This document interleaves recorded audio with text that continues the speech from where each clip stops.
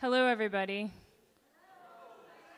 Thank you for being here. I'm thrilled um, to be starting this uh, lecture series after our first four days of workshops at the Totem Pole Park. So, this series, Totem as Monument and Archive, is um, workshops, hands on restoration workshops at the park, as well as this lecture series. Um, we have two lectures. This is the first, and another one in Tulsa on August 20th at the Center for Public Secrets. So um, you're kind of here to see the foundation of what our inquiries are. Um, we have been developing some of those inquiries through the workshop series. We've had a number of amazing presenters out at the Totem Pole Park, and we've been doing a lot of hands on workshops as well. Um, we're now currently working on the Fiddle House, which is um, the, the um, Hogan inspired um, structure that is now the gift shop and the little museum at the park. And so we're working on restoring that. Um, and what you're going to hear today are some amazing people who come from a very like diverse variety of perspective on kind of establishing what and how a totem pole park in Oklahoma is. What that means, what that means from a photographic background because I you know, I've been working on the totem pole for about 8 years doing the restoration project and I I'm sure a number of you have been out there. I'm not sure if everybody, but the totem pole, um, as you can see, is a really tall structure. Um, it's about 90 feet tall from the base to the very top of it. And I continued throughout the years to look at it and think these are, like, I'm looking at a series of photographs. Um, and I've thought a lot about, like, you know, what Ed Galloway's um, source material would have been.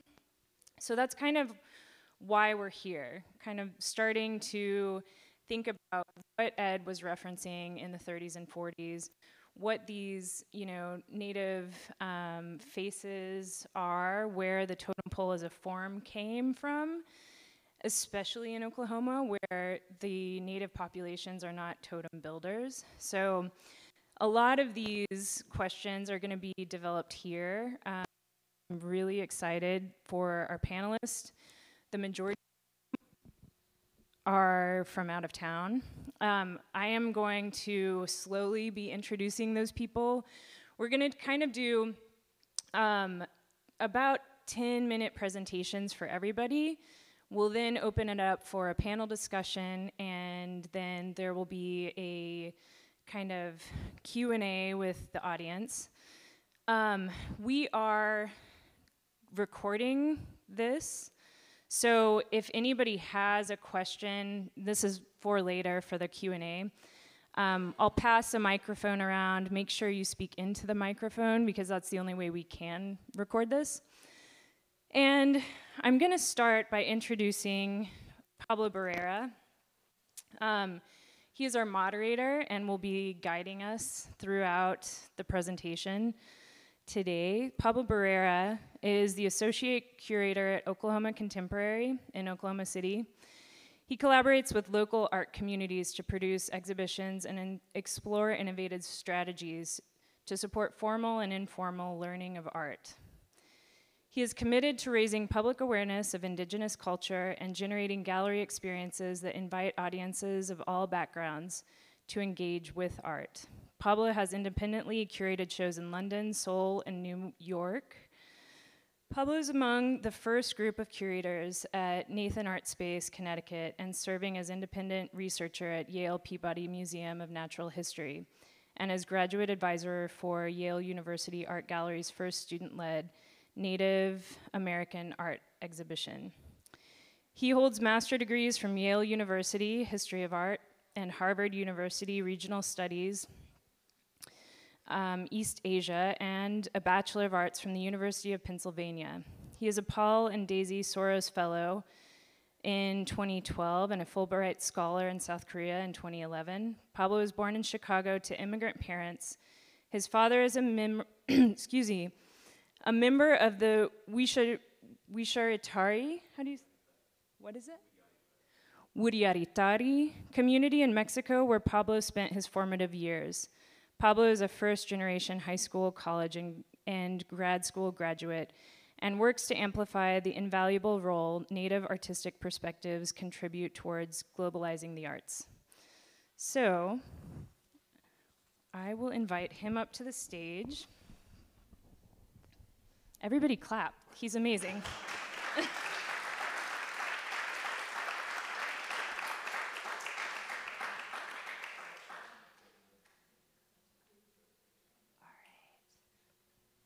We're gonna let you do that.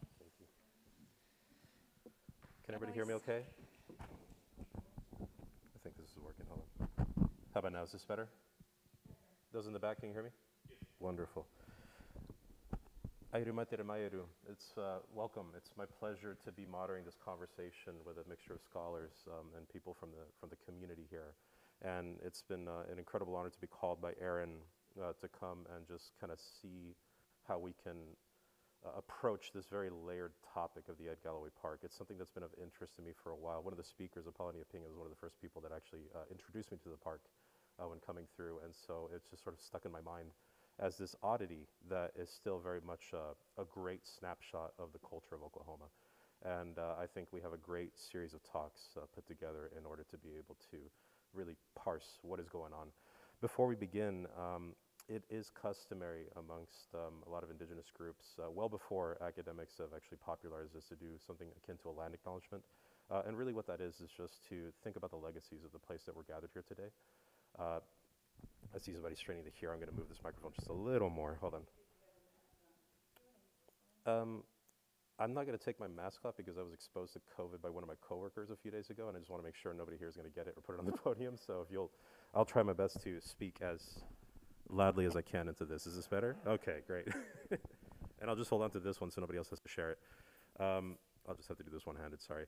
So yeah, just to um, begin with a little bit of the history, we're going to touch on some of this in terms of the context because we have the privilege of being speaking to some academics, some scholars, some historians, um, people who are very deeply aware of their community history. So rather than uh, just go over the broad strokes of what this place is, um, we will touch on how this is now the tribal lands historically of the Osage, the Cherokee, and the Muskogee Creek Nation, uh, now the Muskogee Nation for those of you who are up on the on the lingo. Um, and we are also, you know, going to go a little bit into sort of like the history of the different kinds of communities that have crossed here, especially the settler colonial people who came and settled the region and formed this into a state. Um, but I want to do something similar to what this park, I think, represents. I want to go into a history that is here, specific to Claremore, that many of you may not have been taught, or if you do know, not something as popularly known. Um, and it is the Claremore Mound War of 1817. Is anybody familiar with that war, or that particular incident? I see a couple of heads shaking. Yeah, so what happened is in 1817, about 20 years, a little bit more than 20 years before uh, Indian removal, before the Trail of Tears, the Western Cherokee teamed up with colonial settlers, uh, people of European descent, to try to take over portions of Osage territory. Uh, Claremore was named after a series of chiefs. It's a clan name. Um, it's been spelled many different ways, but that's where the word Claremore comes from with the Osage Nation. And basically, what happened was that there was a band of uh, people who came together, who joined forces with European settlers to try to oust the Osage. Uh, they waited until the strawberry moon harvest when they knew that most of their skilled warriors and even skilled women were going to be gone on a weeks long hunt. And they basically attacked their village. Uh, and so what happened there was that the Osage retaliated by attacking the Western Cherokee for the next 20 years uh, with, with extreme prejudice to basically establish that this is not going to fly. Um, so that's an interesting little bit of history that I think a lot of folks don't know that predates the Trail of Tears and talks about how there was already disputes and issues uh, happening here where we are having the talk today. Um, so just to begin with that, I also want to talk about uh, Ed Galloway Park, just to kind of give you a brief overview of what I found interesting about this and that I think the um, different speakers are going to be able to talk about more in depth. Thank you. Is it not going? Oh, hold on a second. Do I have to move it over? Yes. Oh, got it. Okay. Hmm. This is not. Got it. Should move over. Can everybody see that? Can you do? Thank you.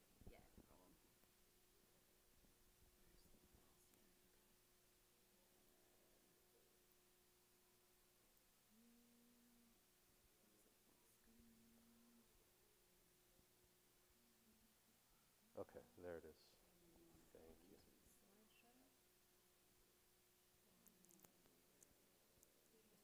From current now. This is the first one. So we talked a little bit about- about context. Let's talk about Ed Galloway's context. So he's somebody who learned art at the turn of the century, retired in the 1930s. So what was he thinking? You know, what was really on his mind? What was his training?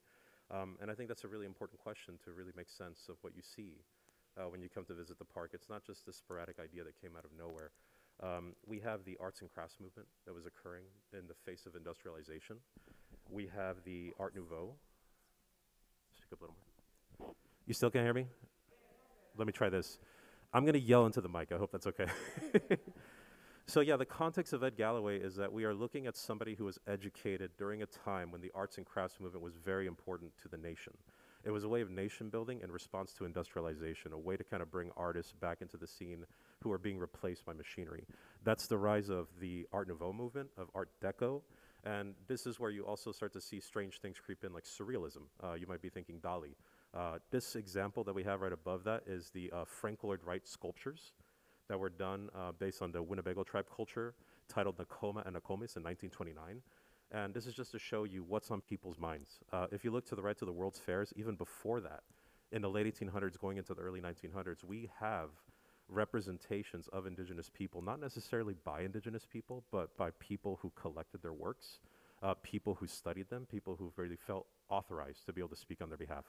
Uh, and then if you look over to the right, I'm sure some of you remember the Oklahoma New Deal post office murals. Uh, this is something that was in the works for a while before it was officially launched in the 1930s. And what you're seeing here is an example of Stephen Mopope, um, an artist who did this uh, beautiful work that is kind of similar to some of the aesthetic that you're going to see today when talking about Ed Galloway. So this is the ecosystem in which this artist is operating and responding to. And then finally, the intention. Uh, just a warning to anybody who's culturally sensitive about these particular uh, imagery. We do have owls in this next slide. Um, Ed Galloway says, and I quote, All my life, I did the best I knew. I built these things by the side of the road to be a friend to you. And yet, there's this uh, culturally insensitive representation of a bird that, had he actually talked to his neighbors, he would have known not to pre- represent that throughout the park. And there's a lot of owls uh, within the totem pole park. Uh, also, it begs the question of who is the audience. Um, there's this really sincere intention by Ed Galloway to do art for the public.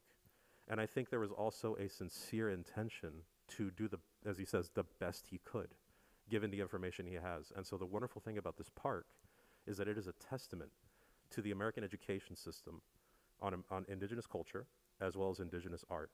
And we're going to unpack that a little bit today with our speakers. And finally, labor. Um, this is something that I think is really important to discuss. Ed Galloway is known for having shipped in just like by hand wheelbarrows of sand from the nearby creek bed, taking in stone, making this all by cement. It was really a labor of love. This was not done with public funding. This is a retired person who had a career as an artist, who really felt that he needed to express something to honor the indigenous people, and he really put his back into it. And yet, despite all that wonderful intention, um, he still kind of fell short of being able to address these communities. But at the same time, he's somebody who was just sort of mesmerized by this concept of labor. Um, I believe we're going to talk a little bit about Diego Rivera in one of the upcoming talks. Uh, but this is a great example of what's happening at the time in the 1920s, 1930s. People are thinking about labor. People are thinking about how to uh, approach ideas of labor. People are thinking about the value of work. And this is something that Ed Galloway has been struggling with uh, as he made this massive monument to what he calls uh, the Indian.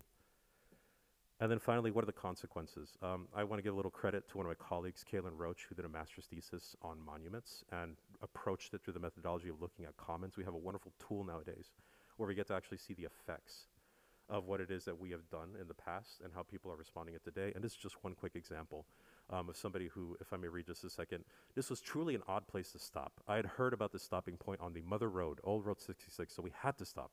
Sad to say, I was disappointed. But I'm sure back in the day, this might have been a hoot for people during the 50s. Here's a little bit of the history. And then, of course, you know the history about this being claimed to be the largest totem pole. You know about the 11 year period from 1937 to 48 where he focused on the totem. Um, and then utilizing 28 tons of cement, 6 tons of steel, 100 tons of sanded rock. Tribute to American Indian features 200 card pictures with four nine foot Indians near the top, each representing a different tribe. That's accurate, but it's also not the full story. Um, the centerpiece totem pole rising from the back, an enormous turtle sits in the midst of a beautiful nine acre park. The park also features Galloway's 11 sided fiddle house, which, again, not enough context to really think about what it means that it's an 11 sided, which actually Galloway corrects is a 12 sided house. Um, and then previously houses hand carved fiddles. Artifacts made by Ed Galloway and visuals of the park development are also on display in the museum. Throughout the park are numerous colorful totems that display a variety of Indian folk art. That last sentence is important because basically we are uncritically accepting that Ed Galloway has become the authority on Indian folk art, despite the fact that have nev- never been part of the community and having never consulted anyone from the community. So we are now living with the consequences of one of the most famous roads in the United States, with now an increasingly famous park uh, that is educating people. And so the questions are, where do we go from here? And to that, I want to turn it over to our speakers. Thank you.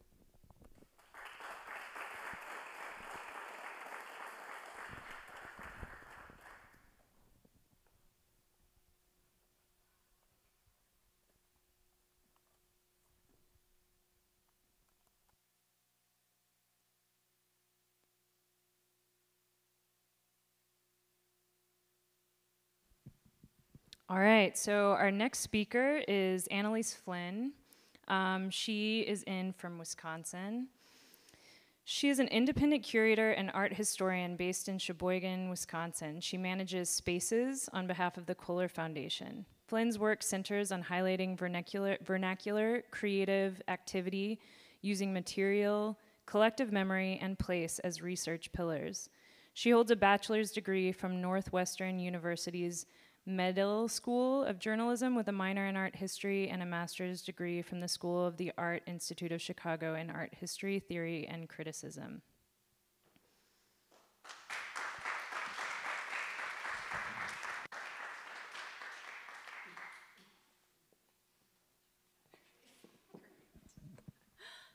Thank you, Erin, and thank you, Pablo, and thank you to all of you for being here. Let me find my thing here. There we go.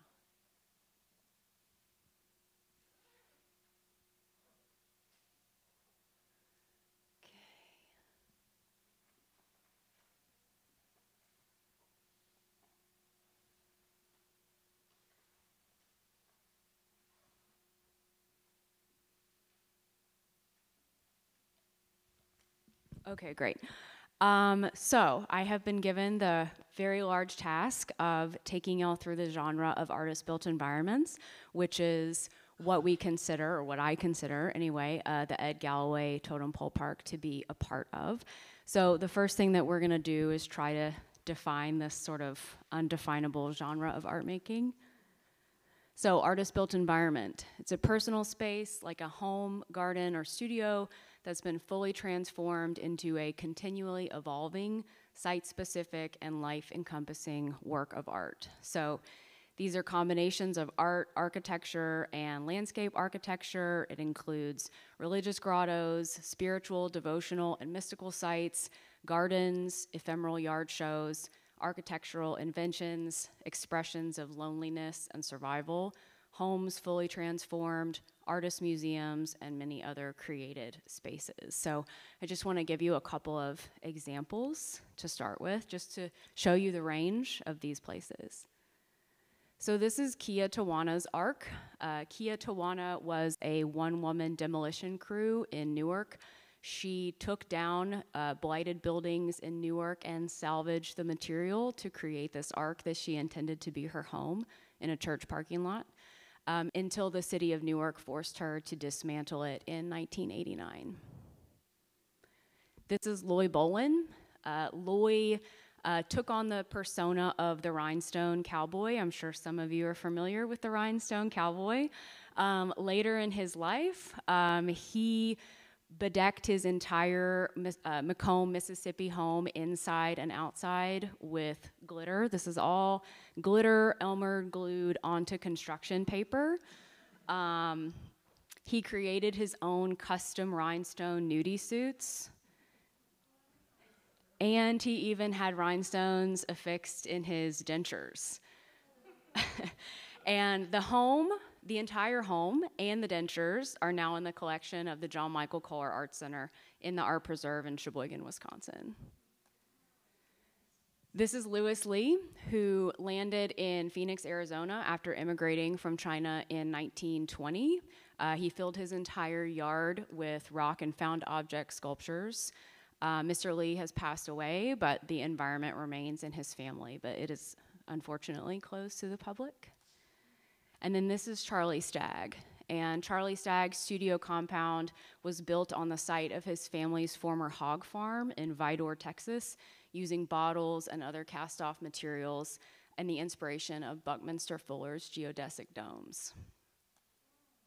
So, this is just a sample. There are hundreds of these types of places all over the world that use all different kinds of materials. Um, so, the umbrella term artist built environment is, is pretty tough, but it is all encompassing. Um, so, to narrow the scope of this down to 10 minutes, um, I was thinking about the title of this lecture series. So, Totem as Monument and Archive.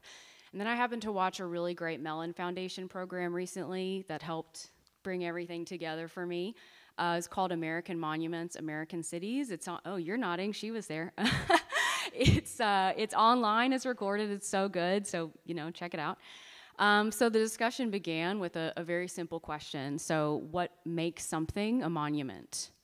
Um, and the answers start to, to roll in. And as I'm sure you guys may be thinking too, so it's big, it's permanent, it's typically Eurocentric, it's established by people and institutions in power, it promotes a specific narrative or perspective, it takes up public space, like the Washington Monument here.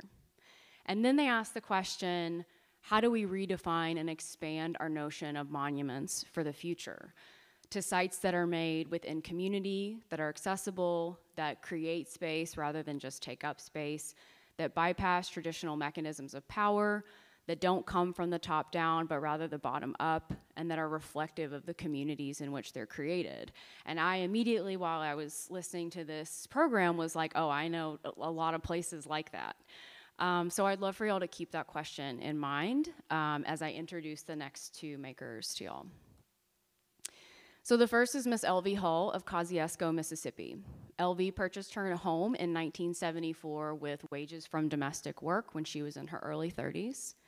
LV was an artist her entire life, but it wasn't until she had access to her own space that her practice really took off in remarkable ways. And that seems to be a hallmark, having access to your own space in terms of environment creators.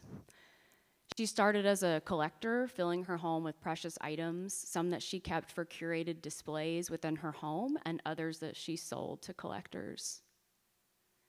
She eventually began painting using primarily found objects as her canvas and acrylic paint from Walmart. She de- developed a signature style, bright, concentrated colors, dots, clever sayings. She called this doing the LV, she also called the discrete pieces that she made her pretty things, which I particularly love. And she even adorned herself in the work, painting many hats, pairs of shoes, and even clothing. And a visitor once remarked, I don't know where the art stops and LV begins.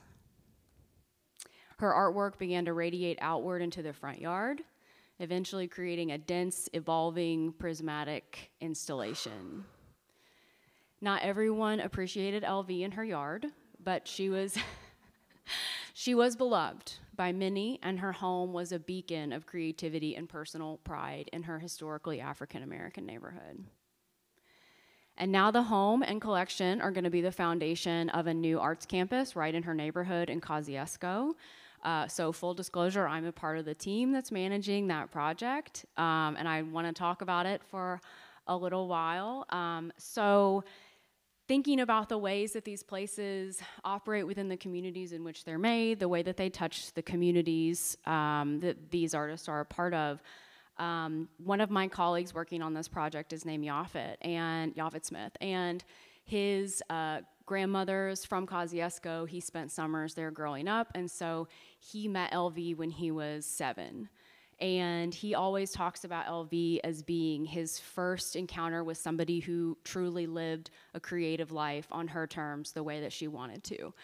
And it was so meaningful to Yafet. It was um, a huge inspiration to him as he considered the trajectory of his own life. So he started in accounting and then he became a lawyer, and then he became a screenwriter. And he ended up making a documentary film about LV that's not yet released, but I'll tell Erin and she can tell y'all when it comes out. Um, and uh, Yafet is now a partner working on this project. Um, the LV, the Kohler Foundation came in and uh, conserved a large collection of LV's work last year and gifted it to a new organization in Kosciusko called the Arts Foundation of Kosciusko. Um, and uh, this collection will now be a part of the LV Hull Legacy Center, which will have a rotating uh, collection of LV's work, um, exhibitions, a creative residency, public programming, and bring economic opportunity to LV's neighborhood. And the goal is for the site to be a monument to LV's creative spirit and her independence, her warmth, and her exceptional generosity. The Legacy Center will be anchored by LV's home, which is on the same block as the new facilities, uh, and it was added to the National, Regist- the National Trust for Historic Preservation's list of America's 11 most endangered historic places in May, and preservation of the home will begin soon. And that's me in the middle, and that's Yafet standing next to me, and that's Johnny Hunt, LV's neighbor. Uh, in the overalls, and then Miss Benny, who is LV's cousin, is in the green in the middle. Um, so this is really a, a community. Um, this is a community project, and it's very exciting. Next, I want to introduce Eddie Owens Martin of Buena Vista, Georgia. Um, Eddie was born into a sharecropping family in 1908 in rural southern Georgia. He escaped an abusive father when he was 14, and he took on sex work and other forms of hustling to get to and eventually survive in New York City. So in New York, Eddie took in all the culture that he could. So museums, libraries, theaters, nightclubs, and drag balls. This is a young Eddie in drag on a trip to Pontiac, Michigan.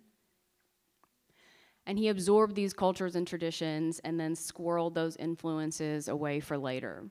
In his late 20s, Eddie fell severely, severely ill while visiting his mother in Georgia. And then while ill, he was visited by, quote, a great big character sitting there like some kind of god who entreated Eddie to follow its spirit. And so Eddie did follow the spirit. He was eventually visited again and told, You're going to be the start of something new, and you'll call yourself Saint Ohm E O M, Eddie Owens Martin, and you'll be a Pasaquoyan, the first one in the world. And so, um, after uh, Eddie's mother passed away, he inherited the family property and moved back to Buena Vista and created Pasaquan. Yeah.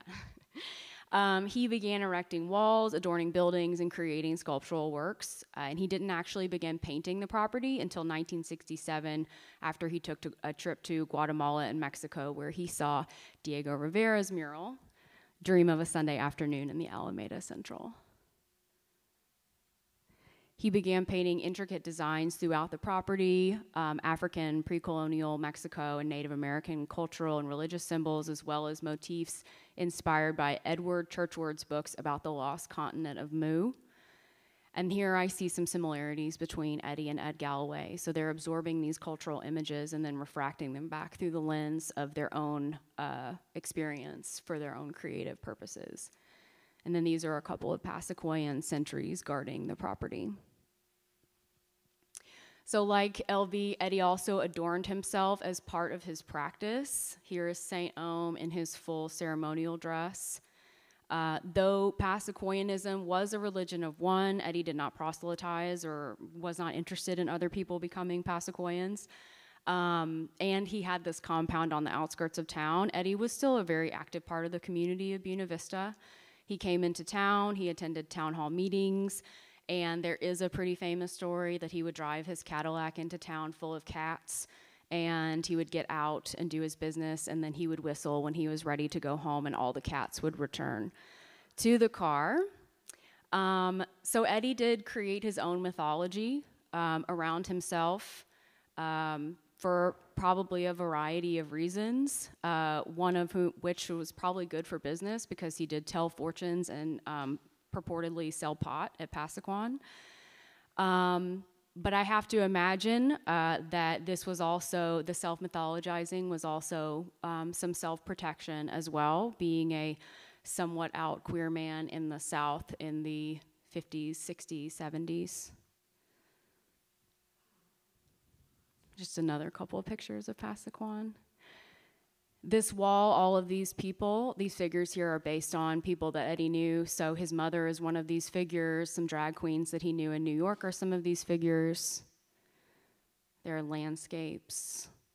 He used all kinds of spiritual imagery, mandalas. And Pasaquan uh, was also a, a, preservation project of the Kohler Foundation and is now owned and directed by Columbus State University in Columbus, Georgia. Um, it's becoming a pretty robust uh, creative hub in the South, um, and it's a huge asset for the students who uh, attend school at Columbus State who are currently doing hands on preservation work um, at Pasaquan. Um, they have an artist in residence uh, program, and so I'm showing you a piece that two of my friends made, Jonas Subura and um, Alex Gartelman, that portal that's in the back. So they said of their experience, to experience Pasaquan is to be completely enveloped. You are covered, swarmed, swallowed by St. EOM's irrepressible vision. We wanted to capture such a feeling. We wanted to use that sensibility as a pathway for making our own portal connecting our lives in Wisconsin with this incredible site 1,000 miles away in Georgia. Artist built environments have always been centrally informative to our practice, and Pasaquan stands out amongst the many we hold close.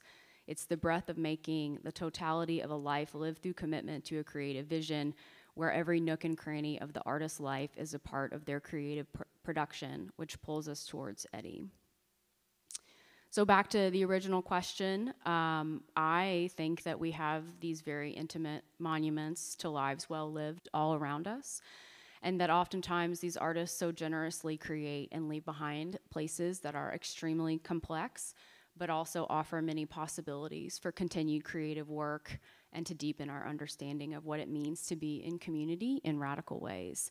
And I feel like that's what we're doing right here with the Totem Pole Park now. So Thank you, and thank you, Aaron.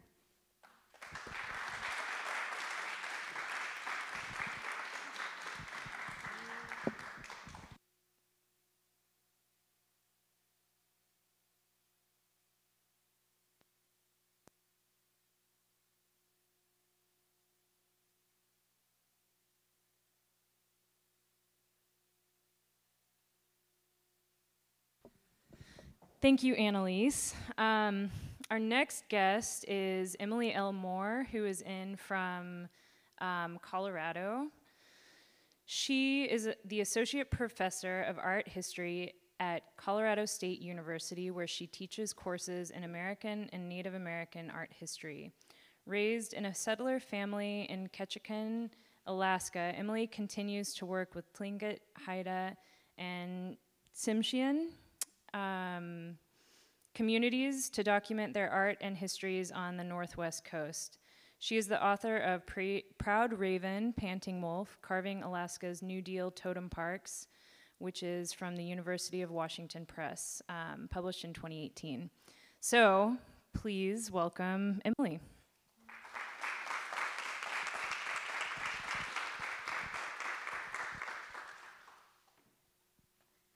Thank you so much, Erin, and thanks to all the panelists, Pablo for moderating, and thanks to all of you for coming out. It's an honor to be invited. I never thought I'd be invited to speak on research on totem parks in Oklahoma, but um, it was fun to visit the Ed Galloway Park this morning. And I guess my role today is to try to give some context of totem parks um, in their place of origin. They're a very strange invention, even on the northern northwest coast. But um, growing up in Ketchikan, Alaska, I grew up next to two New Deal totem parks that had really been kind of mocked in scholarship as kind of strange government inventions. And indigenous communities there really talked about them in a different way. So um, I'm just hoping to give some context today for totem parks that I believe Ed Galloway received postcards from. His family had visited these totem parks in Alaska in the 1940s, and so this may have been some source material for him as well. So, um, the research that I worked on for my recent book was really based on these six New Deal totem parks built during the Great Depression um, the Civilian Conservation Corps, or CCC, which was President Roosevelt's kind of hallmark work relief program to put people back to work during the Great Depression. And that included indigenous men in Alaska. They actually had to fight for the right to be enrolled in the CCC. Originally in Alaska, it was only open to settler men.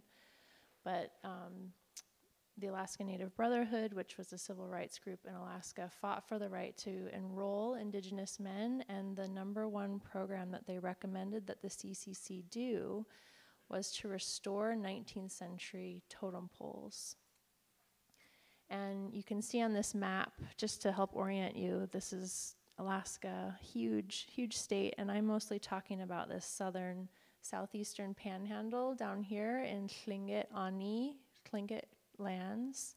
Um, this is also the Haida, the Tsimshian, so it's this kind of area here. And you can see the, the six New Deal totem parks that were built by the CCC between 1938 and 1942 are really concentrated down in the southern southeastern Alaskan pan- panhandle.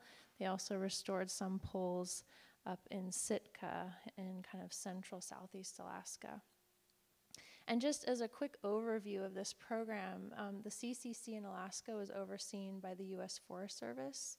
Unlike down here in the lower 48, I believe it was usually the Army, but there wasn't a strong Army presence in Alaska until World War II. So it was the US Forest Service that oversaw all of this. And that's really key because at this very moment, 1938 to 1942, the US Forest Service is battling indigenous people for the Tongass National Forest. Um, Tlingit and Haida communities were really asserting Aboriginal claims to the Tongass National Forest, and so this is a really fraught relationship where indigenous men are enrolled in the CCC under the supervision of the US Forest Service, and at the same time, they're pressing a lawsuit against um, the Forest Service's right to oversee Aboriginal lands. So I'll go into that a little bit more at the end. But um, just to give you a basic overview of how these, these totem parks came to be in Southeast Alaska, um, Initially in 1938, the U.S. Forest Service did a kind of reconnaissance mission. They went around southern southeast Alaska documenting 19th century poles, which had been um, left behind when indigenous communities were really pressured to move to larger communities for church and school. So they had been pressured to leave behind these communities, leave behind totem poles, which most missionaries condemned as heathen objects, even though they were never worshipped. And um, I realized I'm, I'm so used to giving this these kinds of talks in the Northwest Coast where people are more familiar with the function of totem poles, but just to, to kind of briefly give you some context, on the northern Northwest Coast at least, kootéeyaa, which is the Tlingit term for totem pole, it means large object carved with a chisel. And they were used as memorial poles, often to mark um, an important person who had died.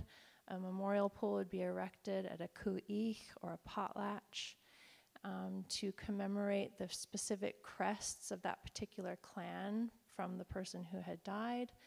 They can also be heraldic poles, which would tell of an important story of, of kind of world phenomenon, the origin of salmon. Why do salmon always come back to their birth stream?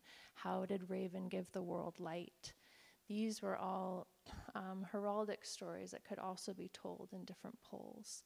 So they were never worshipped. They were never about um, gods that people you know, venerated. It was really more about these kind of heraldic stories, clan crests, memorializing important people.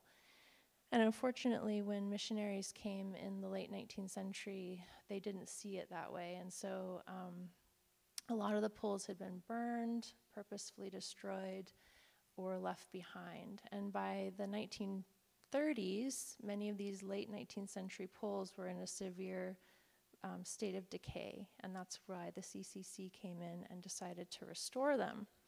So the next step after identifying all of the the poles that were worthy of restoration, according to the U.S. Forest Service.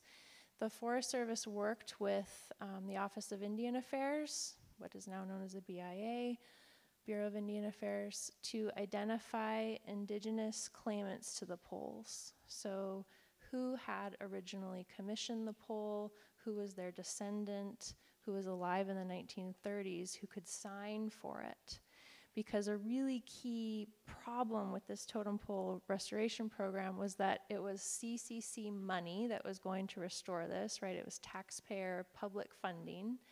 And that funding could not go to restore privately owned poles. So these poles that had been the property of particular clans all had to be signed over to the US government, made public property in order to use federal tax dollars to restore them. So this is just one example of um, these really complex memoranda of agreements that are now at the National Archives, um, all filed away with U.S. Forest Service. And I have tons of text here, but I just wanted to highlight um, some really key shifts in these um, that the CCC Totem Pole Restoration Program entailed for these communities. The first is that people who were signing over their poles, their clan poles for restoration by the CCC, had to agree, first of all, to preserve the poles, and that was not the that was not the customary practice on the northern northwest coast. You allowed a pole to return to the forest if you needed to commemorate someone or tell the story a, of a heraldic pole. You would commission a new pole, right? You didn't try to preserve the old ones. If you've been to the Pacific Northwest, you know it rains a lot. And cedar, even though it has incredible um, kind of anti rot properties, even cedar will eventually rot. And so that was just part of the life cycle of a kootéeyaa. They allowed that. The CCC, though, is now saying we're going to preserve these poles. There's a new emphasis on preservation. Um, indigenous claimants also had to agree to erect the poles in a publicly owned site Again, it could not be private property. It couldn't be. It couldn't remain on Forest Service land um, in the Tongass National Forest. So uh, many of these totem parks were sited in um, 20th century contemporary indigenous communities. And then they also had to be considered as community property. Clans could no longer claim them as, as individually or clan owned property. It had to be the community. These were really difficult, um, difficult changes for indigenous communities to kind of grapple with. This was not how they had approached kootéeyaa in the past. Once those memoranda of agreement were signed, the, the labor talking about Pablo's idea of labor, um, the, the labor really began. And you can see some poles, some of the 19th century poles, they could restore by inserting kind of new cedar blocks. I don't know if you can see on this image, but um, some of the rotten areas could be chiseled out and, and new wood inserted. But some of the poles were too far gone, and so many were replicated. And you can see in the photo on the far right. Um, the 19th century pole laid out by a new 20th century pole. They transferred measurements with calipers from one pole to the other. So there was this kind of effort to create replicas. After they had carved the poles, they were creating them in totem parks, which was an incredible amount of labor in itself. Um, raising all these massive poles, 40 foot poles that weigh thousands of pounds by hand. And the parks themselves were very strange. I, want, I, I like this photo comparison just to show you how in the Haida, this is a Kaigani Haida village of Howkan on southern Prince of Wales Island, and you can see the poles as they would have been in the village in front of clan houses. So the particular clan poles tied to a particular clan house. Um, you can see the canoes that are up on the beach, the houses facing the beach. The, the totem poles acted as almost kinds of address markers, right? Like I know that's the Yahgulanaas clan because they have the bear and the double killer, the double fin killer whale on their totem pole out in front of their house. So that would have been how these totem poles would have appeared in villages in um, the late 19th and early 20th centuries. By the time the CCC gets a hold of them and they start to erect them, as you can see in these very gridded totem parks, they were um, they had these nice gravel paths. The idea originally was to have signage to interpret all of the totem poles, and um, in my book, I go into more detail on the U.S. Forest Service architect who was laying out these totem parks, and he was really modeling the parks on the French and English landscape tradition, trying to either put them on a nice grid or the kind of serpentine, picturesque paths of an English garden. And again, his intentions were to, they're complicated, right? He's, he's doing something completely alien to the northern northwest coast but his intentions were to try to get more Americans to see these totem poles not as strange curiosities, but as kind of great monuments in a monument garden. So putting them into a context of a sculpture park that would be more familiar to Euro, Euro Americans to get them to kind of revere the poles in a new way. Just thinking back on the kind of um, history of totem parks, um, Pablo had a better slide of this. I'm sorry I didn't realize it was so blurry here, but the earliest kind of temporary totem parks are probably the World's Fairs. In 1893, there was the famous um, Columbian exhibition in Chicago, and mostly Kwakwaka'wakw and Haida poles that were brought in um, with Franz Boas and George Hunt, if you're familiar with that history. The first permanent totem park that um, that I know of at least was in Seattle, and this was a pole stolen from southern Southeast Alaska from the Tontaquan Ganachari clan of Tongass Island. There were some Seattle businessmen who were up on a cruise trying to secure business contracts with Alaskan gold miners, and they, um, while the Tlingit were out at their summer fish camps, went into Tongass Village and cut down this massive pole and erected it in the downtown's Pioneer Square, where a replica still stands today. So that that has always been a really important totem park.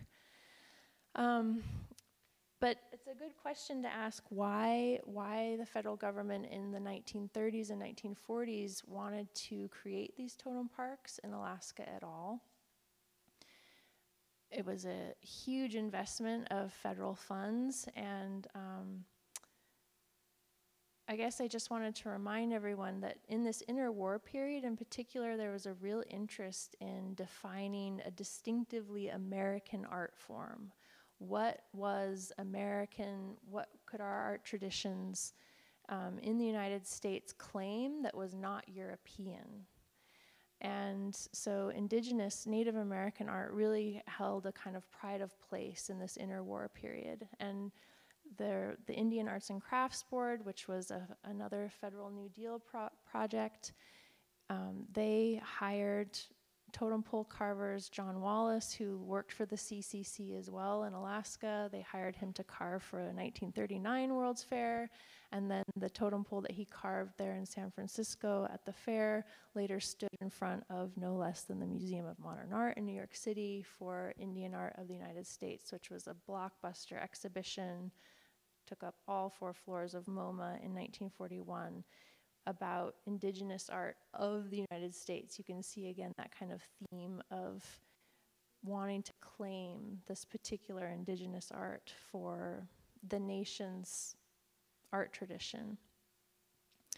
It's more complicated to, um, to figure out why indigenous communities agreed to cooperate with this Forest Service program and the CCC program, and this will be my kind of last point.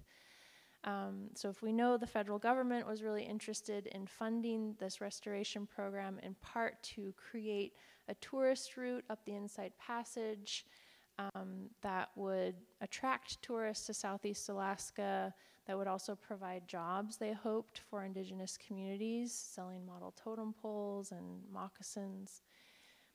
For indigenous people, though, um, and this was what was so impactful about this is what really mattered to me in my own research was talking with um, the few CCC carvers who were still alive at the time and with their descendants.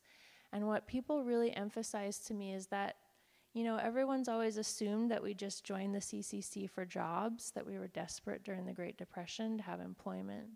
But you have to realize how important these parks were for our own cultural and political prerogatives as well.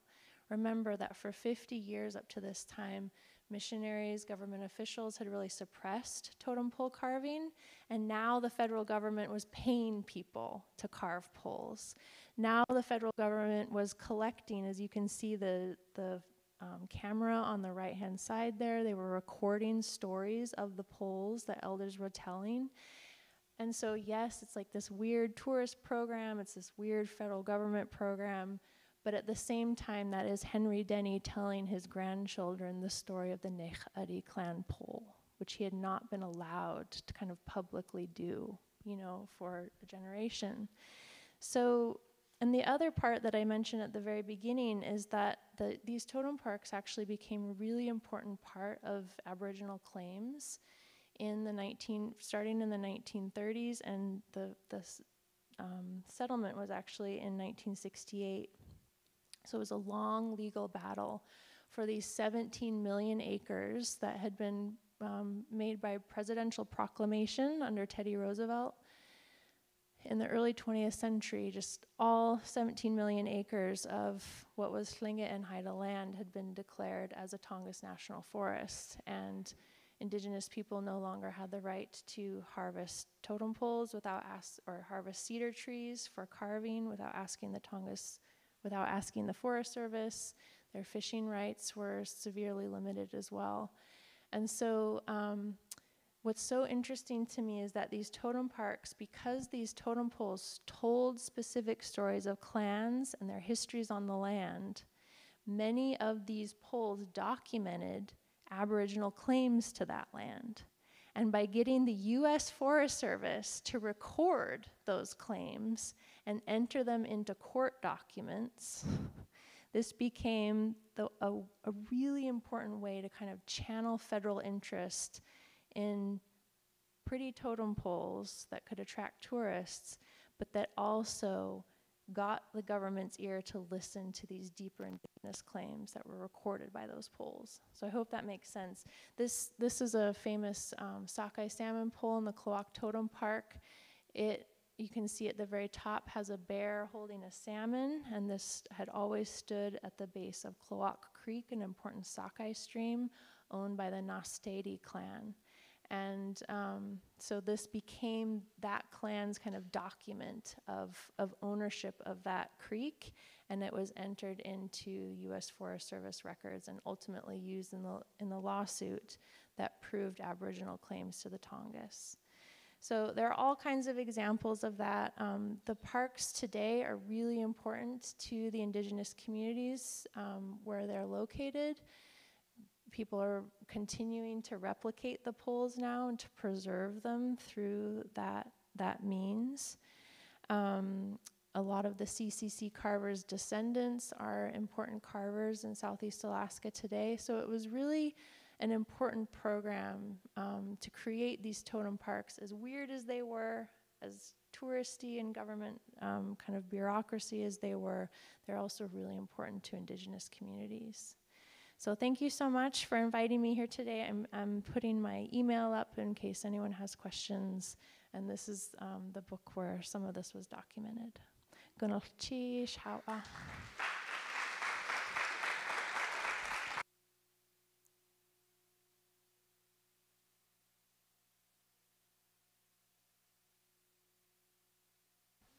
Thank you so much, Emily. Um, I am going to be introducing two people next.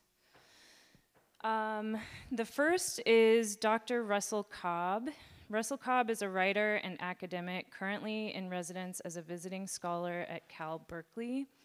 He is associate professor in modern languages and cultural studies at the University of Alberta, where he his work bridges the worlds of print and radio journalism with the digital humanities. His journalistic work has appeared in Slate, NPR, and The Nation. He is a contributing editor and frequ- frequent contributor to This Land Press. His books include the ebook single Heart in Darkness from 2013 and the edited collection The Paradox of Authenticity in a Globalized World from 2014, and The Great Oklahoma Swindle Race, Religions, and Lies in America's Weirdest State from 2020. Um, our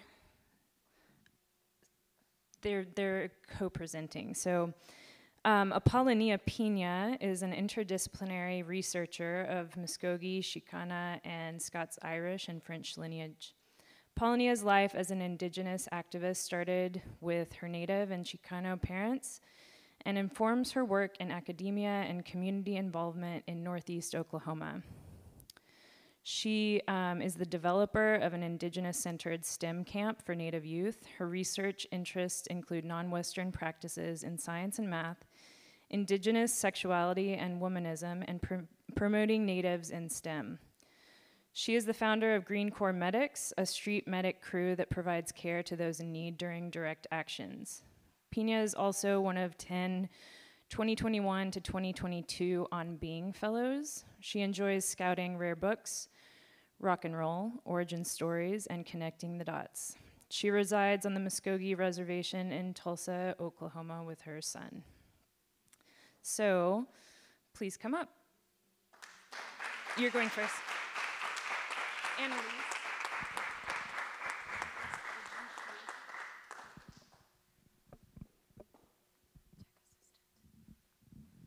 I think we're going to do this pro wrestling style, and I'm going to actually just tag tag Apollonia, and she's going to come and, you know, show her best moves. Um, it's a Google slide, yeah. So, uh, so when I come bounding off the stage, um, that's why. Do you want me to get it? No. Uh, oh yeah, it is. Yeah, that, that, that's the one. That's the one. Yeah.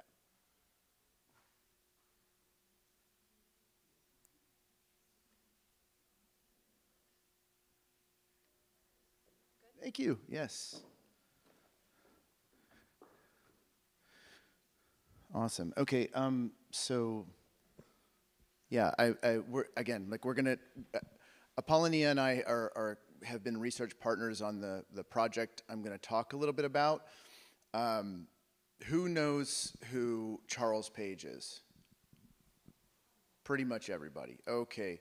Um, well, pardon as I pardon me as I go through the standard history that you may already know about Charles Page and the Sand Springs home, because I need to set that up. That is the monument. The archive is what is missing from that monument, and that is the project I've been involved with in maybe the past five years um, with Apollonia and with other, other collaborators I have. So to set, so I'm going to set the stage first. Um, Charles Page. Why? First of all, why would I be talking about Charles Page? Ed Galloway uh, ran shop for in the Sand Springs home. The Sand Springs home was founded by Charles Page when he came to Oklahoma very very early in statehood. He initially came to the Tulsa area and bought a piece of land in what is now Sand Springs and essentially made it his own town. Um, it's, it's a really unique urban environment, I think, in, in the world. I mean, you think of like com- company towns. Well, this is a one man, in a, in a lot of ways, a one man town. They would, and still to this day, the main road from Tulsa to Sand Springs is the Charles Page Boulevard. The, ha- the high school in town is Charles Page High School.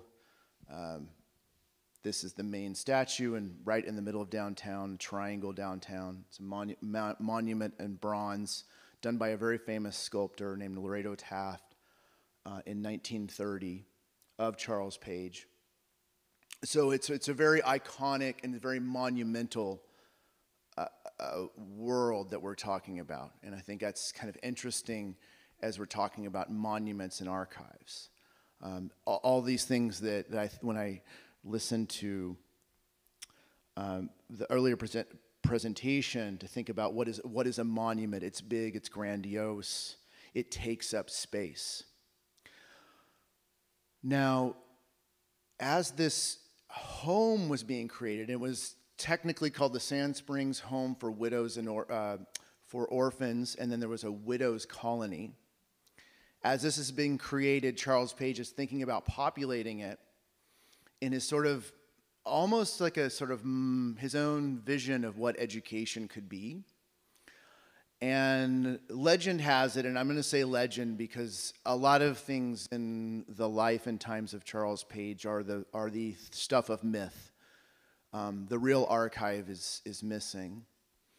But in the myth, mythic, mythic version, which may or may not be true, um, Charles Page was walking around downtown Tulsa one day in I think 1911, 1912, and he saw this really interesting wood sculpture outside a drugstore in downtown. And uh, it was, it, it, may have been one of these sculptures that, uh, wooden sculptures that you can see today of, of, of, Ed Galloway's, but it was certainly of Ed, it was, it was a work by Ed Galloway for sure. Because Page asked the, the owner, he said, who, who carved that statue? That's incredible. He said, this man, Ed Galloway, showed up here from Missouri. He's kind of a self-taught artist. He's a he's a craftsman and and, and page hired him to be a part of this this world essentially that he was building in sand springs. And i say world because it was an orphanage it was a widow's colony but it had everything within it. I mean there are even at one point they'd even had a, a it had a roller coaster it had a zoo um, and in fact one of the things that you can see, still see, and the, the, the original orphanage is torn down, but um, this is, I think, part of what was the zoo. You see a lion here. Um, this is on the grounds of the Sand Springs home today. And these were done by Ed Galloway as well. So he and the students from the Sand Springs home were creating a lot of this art in a, in a vernacular style, in a popular style that that didn't hew to one, one sort of school. Uh, if you go to the totem pole park, I was, I was actually kind of blown away. I was sitting there, we were sitting there having lunch the other day, and uh, the director or the, whoever was staffing the store said, look, those, those chairs you're sitting on, those were created at, see, there's a plaque, 1917 Sand Springs Home. And because he was sort of so prolific and his students were so devoted to him, they were sending, they'd send wood to him to carve the fiddles and that sort of thing. This is one of the is famous on the, the left here, my left, uh, is one of those famous sculptures. And I think that may have been the sculpture that Page saw. I, I can't swear by that. Um, in any case, this is a story that gets told a lot, and, and, and because it has a sort of, because it has this monumental and kind of, kind of larger than life aspect to it, this mythical aspect to it, mythologized aspect to it, it, it misses a lot of what is the archive. Um, for reasons that are quite complicated that I won't go into right now, a few years ago, Apollonia and I were, were researching some of the original allotments, and she'll speak. Uh, I'll, I'll tag her to talk about more about allotments. But we were researching some of the original allotments in the Tulsa and Sand Springs areas.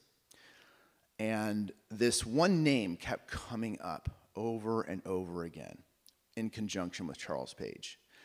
And the name was of a boy named Tommy Atkins. Now, you're not going to see any reference whatsoever in the Sand Springs Museum. I, I take that back. You're going to see one. one reference to Tommy Atkins. Um, but as it turned out, much of the wealth that went into building everything around the Sand Springs home was derived from Page's claim to an allotment in Western Creek County that sat on the top of the Cushing Drumright oil field. And I can't overstate how important this oil field was it's sort of forgotten today, and it's a little tangential to Tulsa, and Tulsa loves to talk about the Glenpool. But the Cushing Drumright oil field was found right before World War I started, and it really powered the Allies in their new wave of petroleum fueled machinery um, to victory. In fact, two thirds of the light sweet petroleum in World War I came out of this quite small oil field um, from, that extends from Cushing to uh, around Cushing to Drumright. So I, I can't also can't overstate the amount of wealth that was coming out of that. Now, I had read that in this official biography of Charles Page, that he wanted to find this missing boy, Tommy Atkins. He was out there somewhere, and he does he wasn't sure. Actually, a lot of oil men were out there trying to look for him. Thomas Gilcrease was looking for him. A Sapulpa businessman H.U. Bartlett was looking for him. Uh, J. Paul Getty, all you name it. Harry Sinclair, you name it. They were all like trying to figure out who this kid was. Page had a Page had a theory, and his theory was there was there Tommy Atkins was dead, um, but his mother was this woman named Minnie Atkins. And uh, there's Minnie Atkins. Now, Minnie Atkins, um, he, Page wanted to find her, and in this sort of wild goose chase that goes from Oklahoma to northern Mexico to Seattle to British Columbia and back again, uh, he found her and convinced the world that she was the one true heir of this boy, Tommy Atkins, and that she had signed the only valid lease on the Tommy Atkins allotment to drill for oil in the heart of this Cushing Drumright oil field. So, this, as it turns out, was the most contested oil lease in Oklahoma history to this day. Um, and there is virtually no reference of it whatsoever. There's a passing reference to it in one of the ex- exhibits in the Sand Springs uh, Museum. There's nothing about it in any of the, the monuments that we see. Um, so I have been kind of haunted about why. You know, why this is we're talking about a case that went all the way to the US Supreme Court. It started in a court small courtroom in Sapulpa, Oklahoma, in Creek County in 1914, but was not resolved until it got to the U.S. Supreme Court in 1922. Um, and there are still many, many, many questions about the validity of the claim, whether Tommy Atkins even existed, and whether who, who Charles Page claimed he was was. So in any in any case, and I, I could go on and on about this.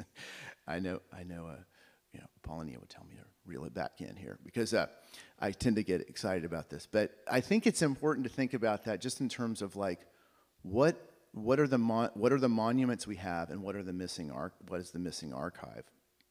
And so I don't know a whole lot about Ed Galloway, but when I think about his work and I think about his work within the home, I think about and the work later at the Totem Pole Park, I think about these responses that people had and continue to have as we see a sort of monumental version of what Oklahoma is, what historians would call the master narrative of the place. In other words, the story that the, the story that the place likes to tell about itself.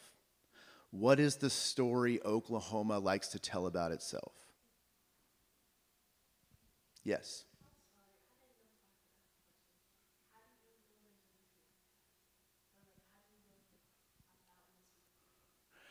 Can we talk about it after? because yes, there because I, I, I couldn't find much information on this kid or his mother. And I went to various archives. I, I ended up at the National um, the National Archives in Washington, D.C. And there is boxes and boxes and boxes and boxes. It, it hasn't been printed, it's only been printed twice because it cost in 19 22 to print the record, it cost $2,000 in 1922 because it is, it is hundreds of thousands of documents. To think that that, that kind of case has never been written about ever, um, and I feel a certain responsibility about it, but, but I can talk to you about that later. I just want to get to the, uh, what, I, what I think that it does in kind of pulling out the strands of what the Sand Springs home was, and it's complicated, right? I think it's just it's a little bit like what Annalise was talking about about. Um, I'm sorry, Emily. Emily was talking about about the the totem pole parks. These, on the one hand, we sort of like go, well, that's that's cultural appropriation. Um, that's not good. But on the other hand, it's like things are complicated, and people act in ways that we don't always understand and make sense of a world that they are given right? And and i'm gonna and and, and i can see apollonia is ready to go on this one because i, I know i'm gonna pass this off to her because i know she's gonna talk about this. Yes. Y- yeah yes. So uh, uh, spoiler is he ended up with all this money um, and really the real build out of Char- the real build out of sand springs when you think about it as the industrial what did they call it? Oh it was a big deal at the time 1922 um, now no one's ever heard about it. Um, but it, it was the, it, and it was held up in court under a receiver, a a federally appointed receiver, because the really the, the federal judge at the time thought it's very unlikely this kid ever existed, and that the Supreme Court is going to find that this is at all, in the words of the U.S. attorney at the time, the attorney general, no less, it is an elaborate fiction.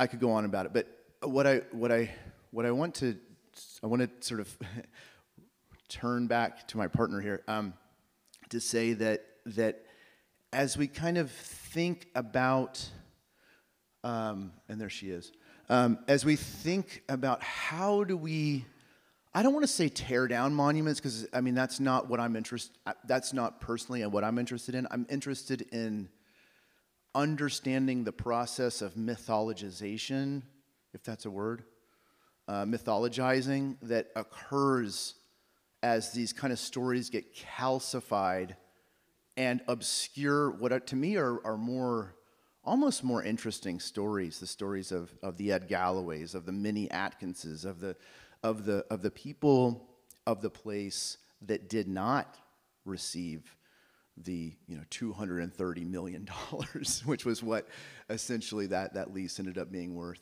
Um, so uh, before, uh, just as I, ta- I tag out here, um, a couple slides. Speaking of monuments, I I have a kind of a morbid sense of humor. I'm sorry. Um, but this is the Oilton Cemetery. I just think it's very interesting that it's like you have to enter the cemetery through two oil derricks. Um, and uh, this is uh, Apollonia when we, uh, the two of us, were kind of obsessing over this story. And we went out on, on the original Tommy Atkins allotment. We weren't supposed to, it's private property, not encouraged. You didn't hear that here. Um, anyway, we got stuck in some Oklahoma red mud, and the. Boots are under our, our rental car. Anyway, um, thank you. Tag. You're it.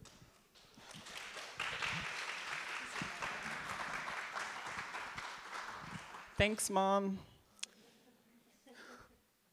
And thank you, Russell. I might tag you back in here shortly. I don't know. I didn't know we were tag teaming like this. Um, hello, thank you all for joining us. I don't want to stand on a stage if I can help it. So I'm just not going to stand up there. I feel weird standing on stages. Um, Apollonia Pina Chahodovskros, Idrolgu Omolegados, Dulce Amidalvados.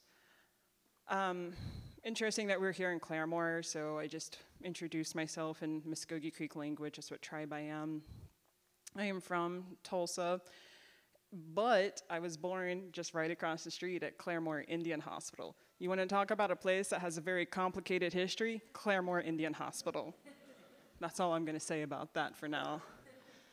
So, my focus is uh, I'm going to talk a little bit about the history of what was going on in Oklahoma with tribes during this time that Ed Galloway was building and creating this totem pole park, and mostly going to stick to the five tribes. And I say that intentionally. Towards the end of this, you'll probably understand why I don't say five civilized tribes while we're here. We don't say five civilized tribes anymore, we just call them five tribes. And, you know, when I was talking kind of informally to some of my native friends about Erin Turner's work and what she's doing at the Totem Pole Park, and how I was happy to collaborate with her on this. Um, just from a few, I would say, from the Native community, I heard some, well, why is it being restored? Like, Ed Galloway was just an appropriator, and he was a white man. Like, why is he even creating totem poles? That's not even a thing that we do here in Oklahoma. Those things are all true. Like, my tribe, Muskogee, Cherokees, the five tribes, we don't do totem poles here. We do other stuff. Um, but I would ask that um, we cannot view Ed Galloway, we cannot view the creation of this totem pole park strictly through the lens of 2023 politics, culture, and ideologies. I think that would be really easy, a little bit cheap, and too dismissive. There are criticisms to be had here, but we need to take off our 2023 lens and view it from the era of which Ed Galloway, a white man, was creating these monuments and the world in which he was living in, which is not the world that you and I are living in currently. Oklahoma is a complex and confusing uh, state with, a, I would say, is a little confused about its identity. Um, it's this mishmash of 39 tribes, most of which were forced here. Um, white settlers that came here for oil. Here's a fun aside about me and Russ and our little thing that we do is I think it's kind of a fun story how he and I met. He was working on a story about um, uh, the gathering place, right? And how it was on this Creek Indian man, Tuckabutchie's land. His story got published before mine. I was also working on it, so I ended up just friending him on Facebook, as you do, and DMing him directly, being like, I should have written that story from a Creek woman perspective. Who are you? Um, but we ended up becoming friends, and the more I got to know Russ, and we did become friends and research partners, he's a homie.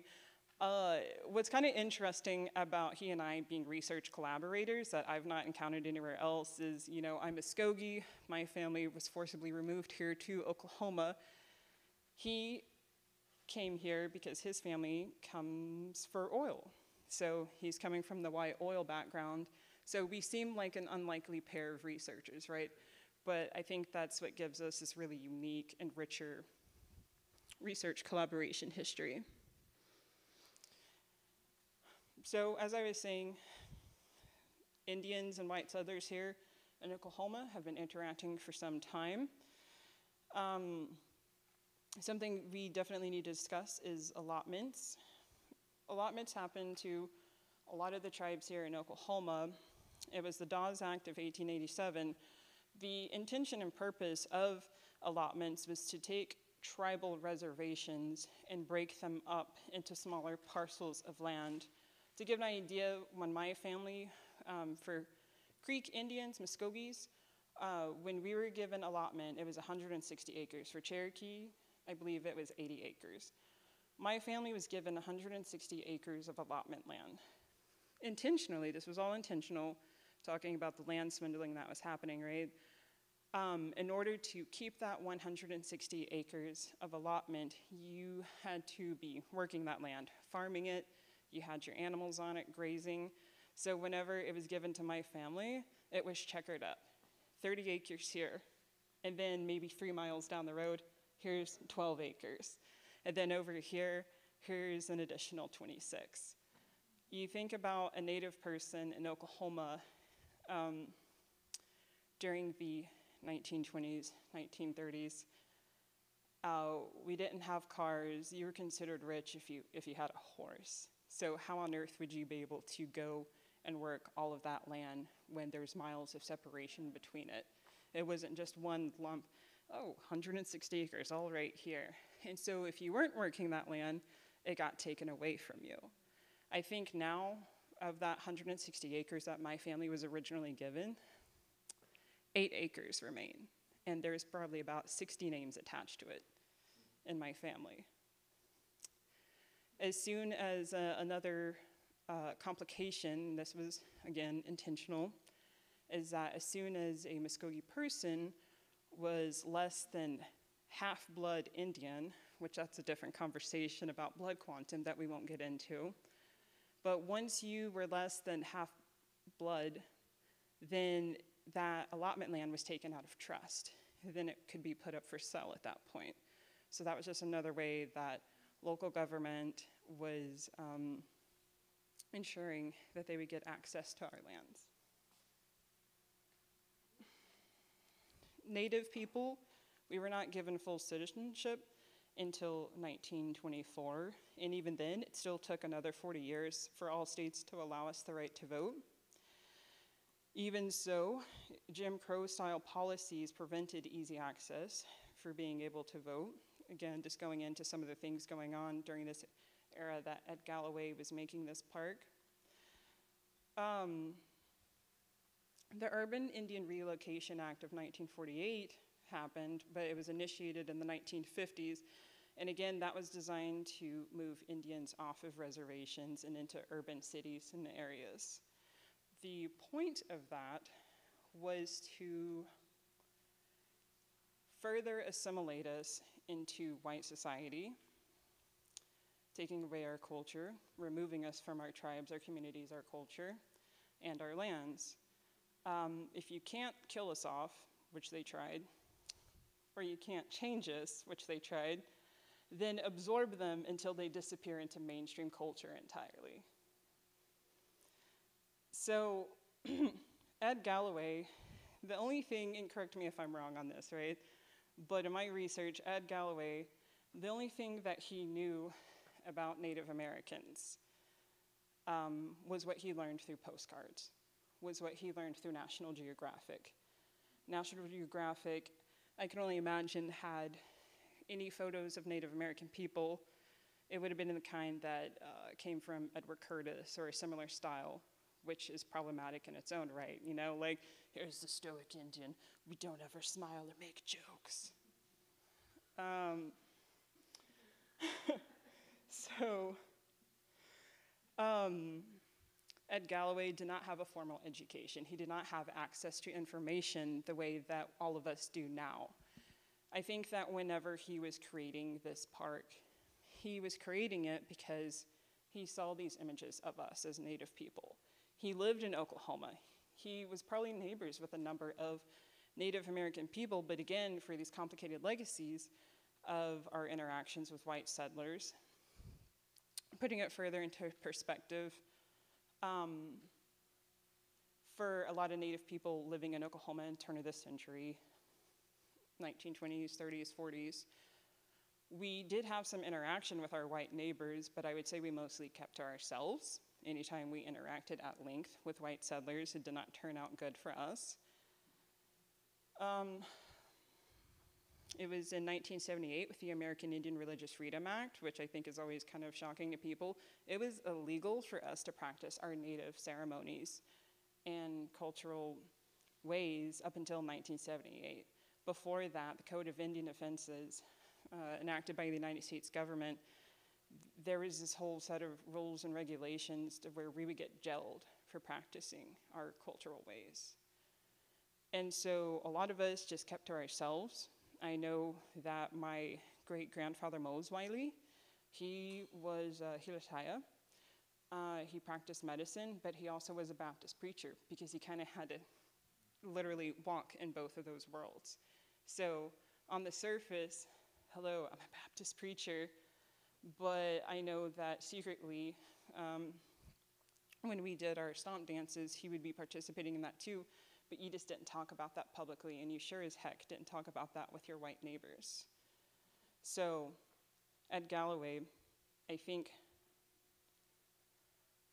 saw some of what was happening, perhaps, to Native people here, even if he didn't necessarily interact or talk with us.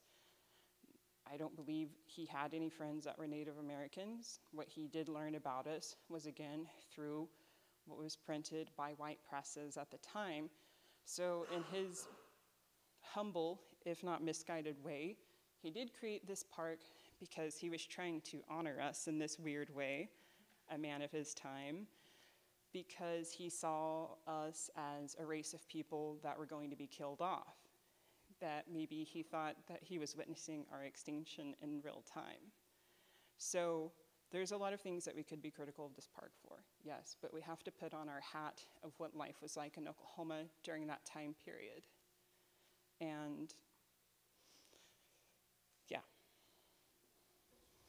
noble savage. But um, so I think if I were to meet Ed Galloway today, I think he'd be a person that I would probably sit down, have a beer with, some sweet tea, a barbecue, but I wouldn't want to be super critical of him. Instead, I would rather just engage in a dialogue with him about what it actually means to be Native American and have these difficult conversations, which I don't think he was in a position to be having with any Native people back then. Mido.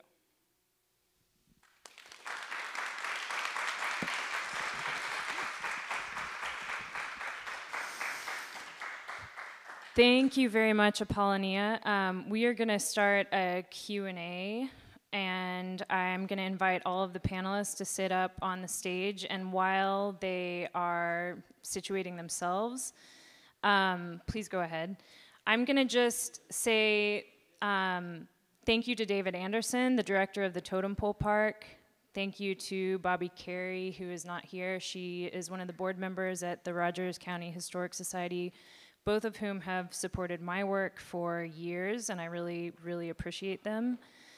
Um, we were able to do this project through um, the Oklahoma Heritage Preservation Grant from the Oklahoma Historical Society.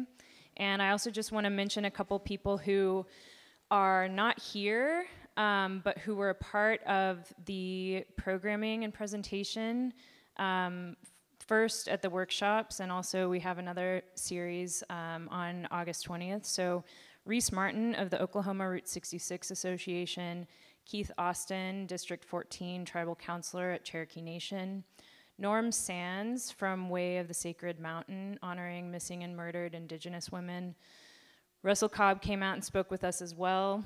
Um, Heather Valenzuela, who is my assistant in the project. Um, Oklahoma Visual Arts Coalition, Graham Lee Brewer from Cherokee Nation, national investigative reporter at NBC News, and president of the Native American Journalist Association, who will be speaking August 20th. Yatika Starr Fields, Osage Cherokee and Creek muralist and painter, also speaking on the 20th, and Ashanti Chaplin, who is a cultural producer, producer and multiform conceptual artist. So we hope you guys come out for that conversation as well. And without further ado, please, um, when you are passing the microphone around, please make sure that it's turned on to green. Um, and this is also for any questions that might occur, please wait to ask them. I would like to bring the microphone to you. We are recording this discussion, and the only way for me to record it is for you to speak into the microphone. Thank you so much, Erin. Can everybody hear me okay? I'm, I'm going to try to yell into this microphone too. I'll keep it as close as I can. I'll hold the mic this way. So, to your last point, Apollonia, what a what a great moment that now we get to talk to Indigenous people uh, up on the stage. Uh, we get to do what Ed Galloway could not do, which is uh, not too many Indigenous people in this room, but at least way more than Ed Galloway, it, exponentially more than Ed Galloway was ever able to discuss with. Um, and I want to kind of start backwards. I want to start with um, what you talked about, Apollonia, what you and uh, Russ, what you introduced um, in terms of this discussion. And as anybody here is inspired to ask a question, please just raise your hand and jump into the conversation, please, uh, because this is meant to be sort of a more casual uh, part of the talk. So, Russ, I want to begin with the archive. We had some questions about the archive. We have this value placed on the archive. We love our documents. We need these documents. We are a very legalist society um, just philosophically speaking, we, we love legalese, we love, uh, we love contracts, we love all these little pieces of evidence of these different interactions, all these uh, impersonal convolutions based on the alliances that we actually have uh, with each other. And you have done a lot of deep dives into archival material. You have published on a lot of this stuff. Um, in what ways have you seen that change? The, uh, as you quoted, um, the stories we like to tell about ourselves? Through archival research, Just through your own published research, as people become more informed, what ways have you witnessed this changing the stories we like to tell about ourselves? Or has it at all? It, certainly for me, it has personally, um, as a fifth generation Oklahoman, um, descended from on my mom's side people who came, settlers who came during Indian territory, and having seen the these master narratives through not only through sort of formal education, but also through art, through visuals, through Hollywood, um, understanding the way what is what is in the archive uh, breaks that apart in a lot of ways, it, but in ways that are very hard to parse. It's not always. no one is no. There's no telegram in the National Archives, for example, that says we're going to get all their land and swindle them. but rather, there's, if you can bring in um, a few people, we'll pay you $5 if you'll get them to say that, you know, um, make some sort of false statements. It, it, it's, it's, a, it's a growing body of evidence that I've seen that paints a picture and in stark contrast to the master narrative. Thank you, Russ. And uh, just to continue that conversation, Apollonia, you made a very good point about what you would do if Ed Galloway were here. Uh, based on what Russ said, what do you think is missing in terms of our approach to share these stories besides the archive? I mean, you mentioned barbecue, you mentioned sitting down with a beer, but what, what do you think is missing in this park? Like, you can't, we can't have you standing there in front of uh, the totem pole talking to every person who drives by, and we can't hire somebody to do that because that would be impractical. But what do you think is missing in the space that would help people start to unpack the things that you see need to be present? Yeah, so whenever I was, um, full disclosure, I go way back with Erin Turner. Um, we've known each other, and been friends since high school, and so um, there's a certain banter that she and I have with each other. Um, and part of that is that because she is a white female, I'm a native female, and so she and I, if she's come to me with questions about indigeneity, native identity, cultural questions. Well, I sing, I do the same with her about white middle class stuff that I don't understand. And so, um, making friendships like these, where you can have these spaces to creatively, constructively have these dialogues rather than it coming from a place of where we just immediately shame and you know create these negative headspaces for people that are in earnest trying to understand. Um, there is, for a lot of brown people, native people, indigenous, whatever, it does take a lot of mental labor to have these conversations. So we just need to spread it, spread it out, and not have it be just a handful of people engaging in these dialogues. Good answer. We'll, we'll get back to that again when we talk about just Oh, monuments. she, this one had it. Yes, one second. Let me get you on.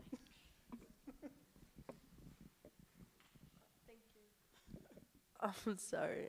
I um I'm Native American and growing up, um also being black and in my school they didn't teach me more about my culture, so I wanted to know how did you grow up learning about yours?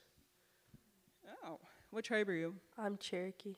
Okay. Well, there are a lot of resources for you to learn about your Cherokee identity. You just got to like go to Tahlequah. That's where I'm the people are. Um, I grew up in a household uh, very Indian in the sense that it was uh, multi generational. I grew up with my mom as the head of household. That's also Hella Creek. Um, and also, my grandfather was there too. My dad was very involved. He's Mexican, and he just lived literally on the same street, but like four blocks down. And we all got along. And so, my grandpa, Louis Wiley, was a Muskogee first language speaker. So I got to grow up hearing that in the household and my mom running the show. And we were very, like, there's, you ask 25 different native people, what does it mean to be native? And you're going to get 25 different answers because there are urban Indians, city Indians, which I would definitely be accused of.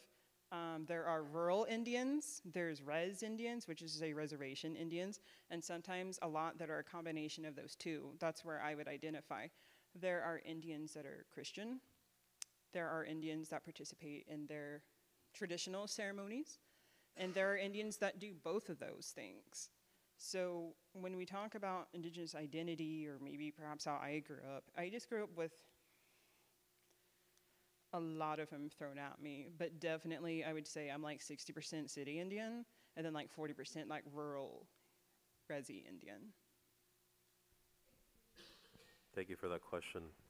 To that point, I do want to stress too that um, not Galloway Park. Please don't learn about Native history through Galloway Park. Um, you know, but unfortunately, that is the reality for a lot of people that they only have these archives, these monuments, these um, public displays of narrative, these educations um, that do not speak enough about indigenous culture or the nuances of indigenous culture. So we get this idea that you can just go to one place and get that information, but it's very much rooted in your community. So um, you're here in, in Oklahoma, so you, I hope you can travel to the Carolinas as well um, to look into like you know some more information and some more communities that are the people that you come from. And it's a it's a massive project, and it's also a shame that what we need to find our roots has been scattered, similar to the allotment process that you discussed, Apollonia. But thank you for those questions and thank you for those comments. Um, so I want to move along to you, Dr. Moore. Um, I'm convinced that Ed Galloway was referencing these parks.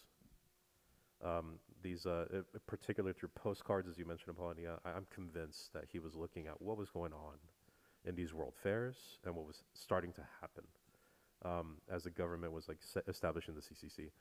Um, so my question to you is, why did it stop? There was government backing. There was a national narrative. There was enthusiasm. There was massive investment, not just on the government side, but also through the soft power politics side of the World's Fairs. So why didn't it keep going? The short answer is World War II. That's really when the CCC formally disbanded. Was I believe it was June 1942. So right after the U.S. entered the World War, um, the federal government just really had to redirect a lot of funds. And in fact, the totem parks in Southeast Alaska weren't quite finished at the World War, and it was a real scramble to finish erecting what poles remained. Um, but yeah, it's in, it's an interesting question too because then in the 1950s that you move into this more like termination era, the policies that you were talking about of Indian removal and um, or not removal, but the replacement policies, right? Like putting them farming people out to urban cities and and more of this kind of assimilation effort on the part of the US government.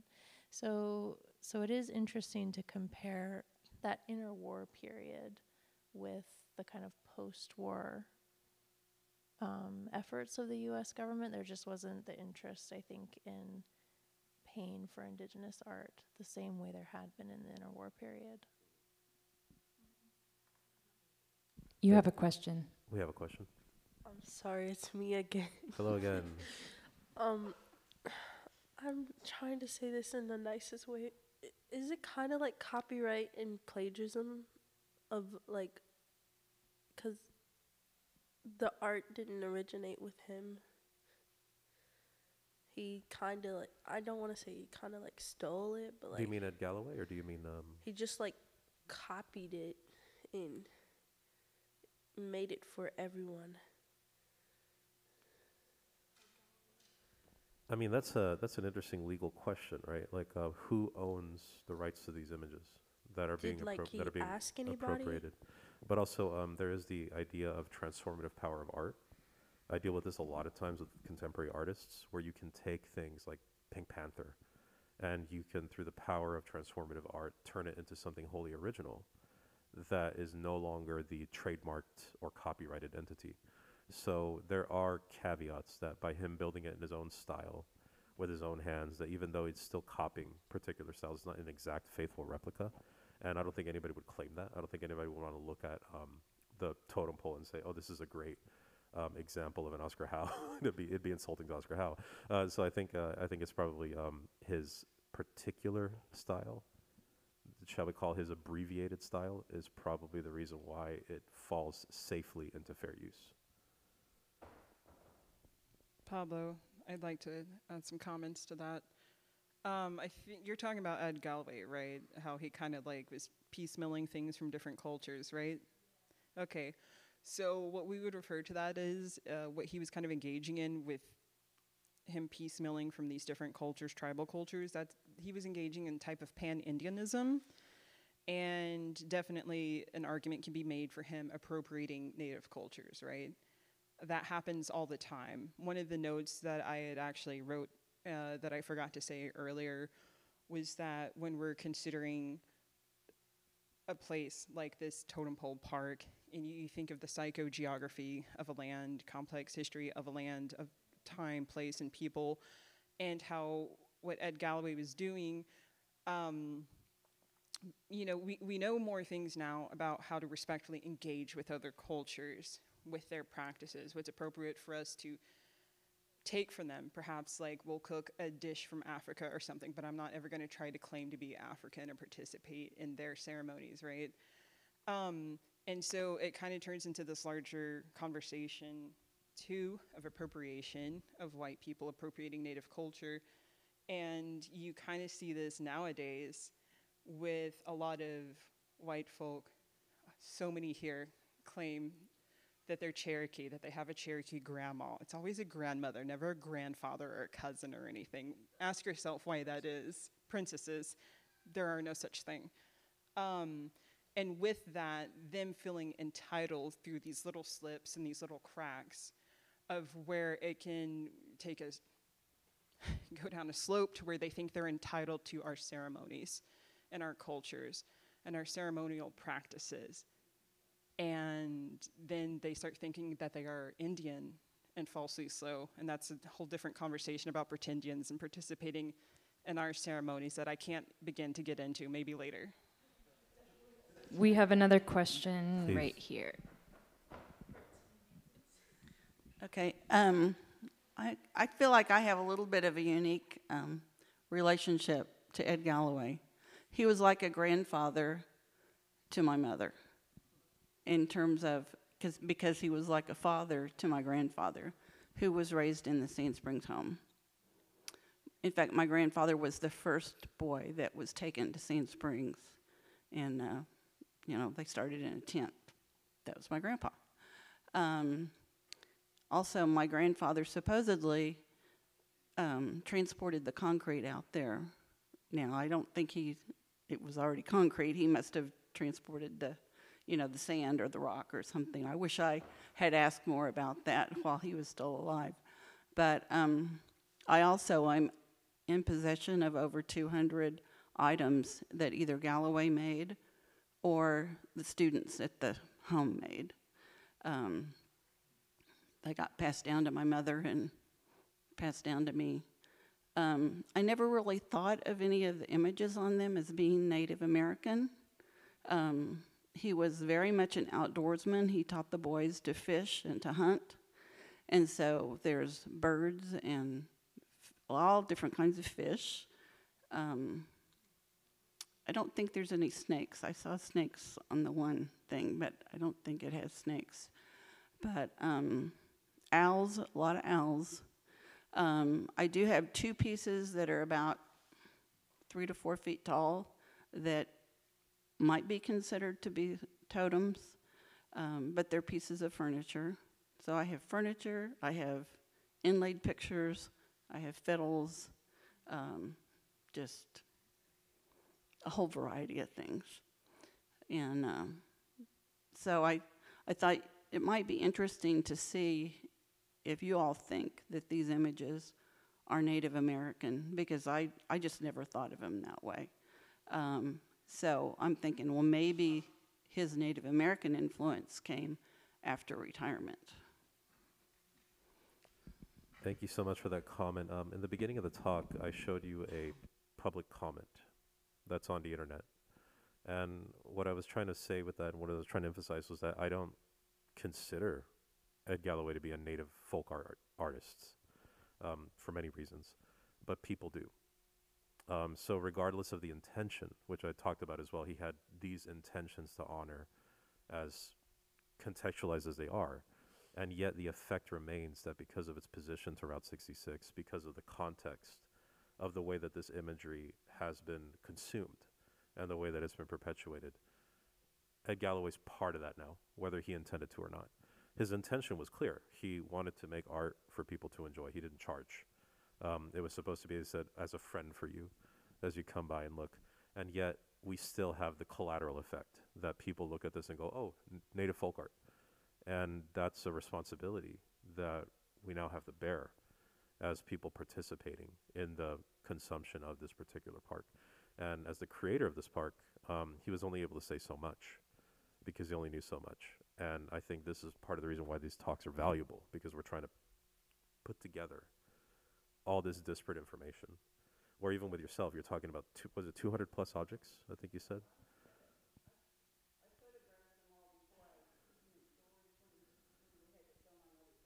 Mhm. So many objects is what you're saying, yeah. Yeah, and yet none of this.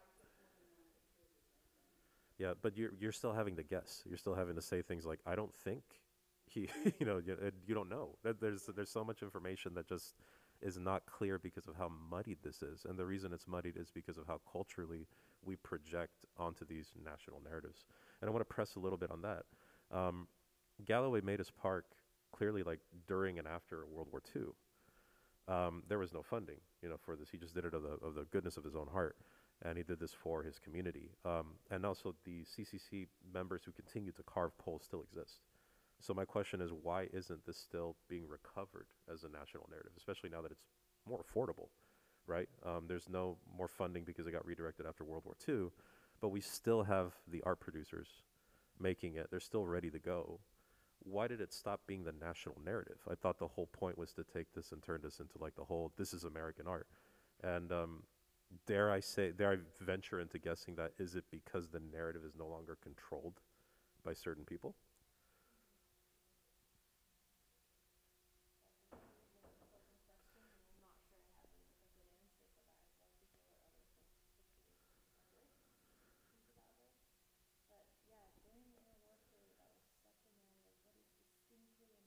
Mhm.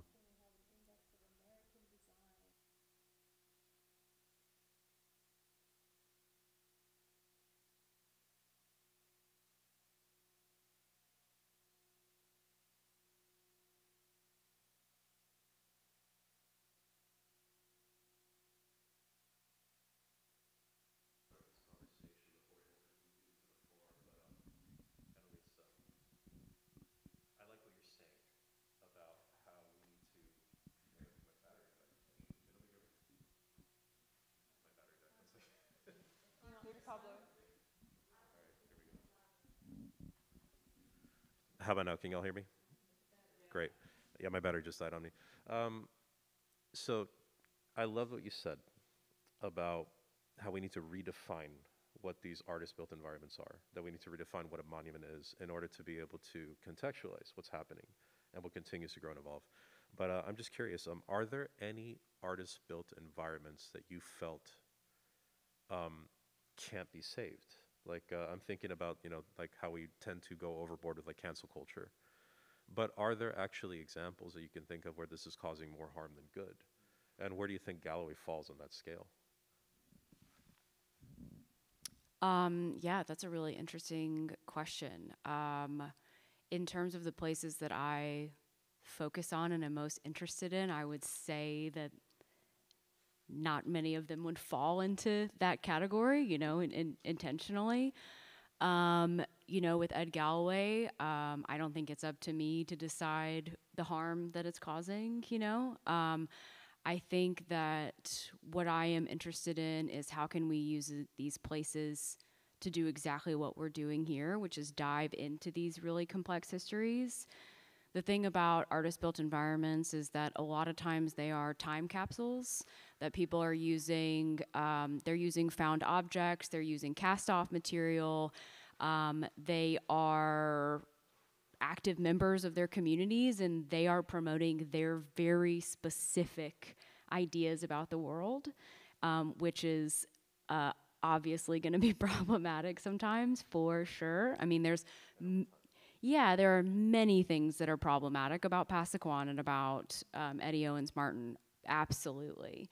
So, how can we use these as a jumping off point to talk about those histories um, and to sort of better understand the ecosystem these artists were living in that led them to make these places? Any questions from the audience so far? If not, I have a quick prompt just to leave us for today um, that everybody can kind of pass the mic on or just leave it on the table as it is. Uh, what would you, what would you change about the Galloway Park, or what would you update about the Galloway Park if you could? Like, how would you add to the conversation? Uh, what would you create uh, that would help us understand it better? Any takers?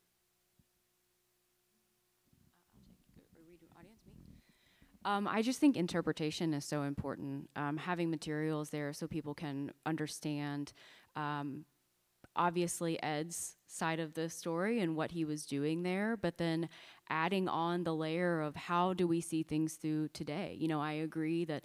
Um, you know, it's complicated when you try to go back in time and apply like a presentist lens onto things that were made previously but that conversation is so important now to have. And there's such a range i mean there are people who are so good at this they're curators who are so good at this in terms of making that kind of information accessible um, and then uh, creating ways for community members to add to that conversation, whether it's through community directed archives, whether it's through oral histories and other forms of storytelling, um, to invite people into that narrative.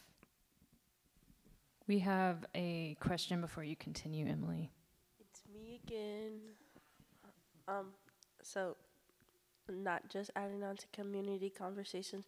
What if we got to add in community art? Because as we grow old, we become history for the next generation.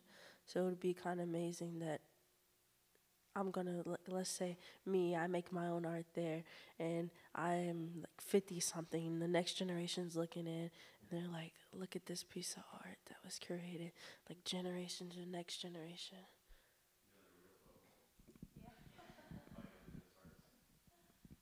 Yeah, I was going to say it could be really interesting to invite an Indigenous artist from the Northwest Coast to respond to this park in some way. Um, I think having signage there that that really emphasizes the totem pole. I mean, it's become such an icon of Indian art, and yet it's from a very specific location. Even across the Northwest Coast, it was only practiced in certain areas, right? The Salish really didn't carve monumental poles. They had welcome figures, but they didn't use poles the same way. So to clarify the kind of the context and, and meaning of of a totem and why it became so ubiquitous as kind of a symbol of indigenous art. Apollonia, we have another question before you continue. I hope this isn't out of order, or, or I don't, I'm just going to ask it, and you all can hit me on the head if you. When you're restoring this, I've seen the park repainted some, but as I see some of your work now, it's very detailed in how you're repainting it. What is your inspiration, or where are you getting your ideas as to what the appropriate color and the motifs and things should be? Is that coming from an indigenous understanding, or is it your artistic interpretation that you think these really look good in this spot? How is that restoration coming about? The creative part This of is it. an Erin Turner question. Yeah, this is a question for me. Um, so, the um, park was initially restored by the Kansas Grassroots Arts Association in the 80s and 90s, who did a lot of research to, by like taking the paint chips that were on the already very weathered totems, matching them to the original paintings of Ed Galloway's that were in the Fiddle House, the the um, museum and gift shop, they're still original to Ed's hands inside. And so they were able to kind of match that. They went to um, paint companies that were alive and well in the 30s, 40s, and 50s, looking at what house paint colors were popular in that time because um, the whole point was to restore it to what Ed Galloway had originally done. He used latex paint from neighbors who would drop it off. They had extra. So that's where you're getting the color scheme from, were the house colors um, in that region, in that era. And so what we've done to kind of shift that slightly is just using a paint instead of latex paint, which essentially traps moisture and it fades, it chips, it does all of these things. We are putting on a silicate based paint, which is essentially crushed stone. They're all natural colors, and it has a potassium binder in it that makes a um, chemical reaction to the cement behind, the actual structure behind. It's vapor permeable, meaning that um, the moisture can come and go as it pleases. It doesn't fade, it doesn't chip, and so it's just a much more um, not only sustainable material, but also um, weatherproof and um, long lasting, and all of these really great things. So that's what we're doing in terms of the restoration work. But we are matching it to the color. So, oh, thank you for saying that, because you can't get the full range of colors that you can with um, man made colors. And so we approach there, I mean, really, it's like we can't get the hot pinks and things like that, so you'll see a little bit more of a salmon tone, but it's as close as we can get using that material.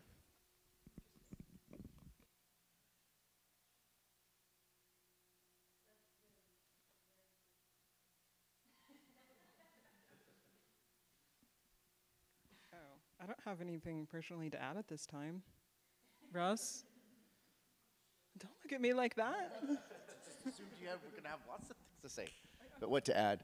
Um, I, I just think it's fantastic. I don't know if this is going to answer the question because I don't know what you would add, but I, I'm just struck by another thing about this as you're talking about it, Erin, and you're recreating this post, this interwar period, and then how it changed in the 50s. And I think it's like the legacy of the 50s in this sort of consumerist culture, conformist culture, uh, where things became so uniform and throwaway that um, I wonder if part of the appeal, the resurgence of the appeal of, of the Totem Pole Park, because I've never, I grew up in Tulsa, never came out there, but I was struck with, we were there the other day, tourists are coming by, it's uh, a part of this resurgence of the Route, Route 66. I think there's a real hunger for this sort of mm, public public art space that I know that it's kind of an antiquated term, but kind of a folk art, um, vernacular art that people are making in response to that hyper consumerist culture, conformist culture in which we live. So, you know, I just think it's it's really interesting that that that that's happening at the same time we're starting to put these layers, if you will, you know, layers of interpretation on it that connect to uh, disparate, you know, indigenous cultures and, and ways of, of, of doing and honoring um, ancestors in other places. So I, I guess more, rather than, than, than taking down, you know, adding more and more layers.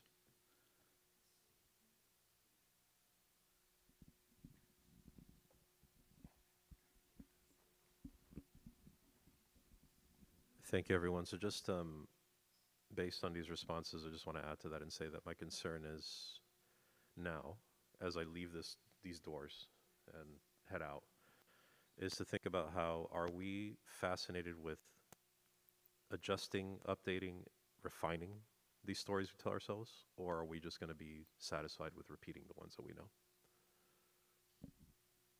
Thank you. Oh, we have Oh, one more question. Before you clap,